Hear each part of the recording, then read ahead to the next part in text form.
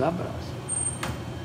Pãozinho do restaurante Armênio Rai.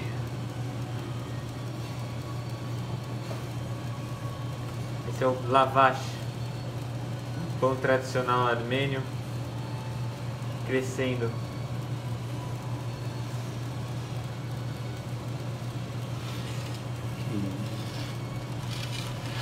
Aí inchou, tira e ele murcha novamente.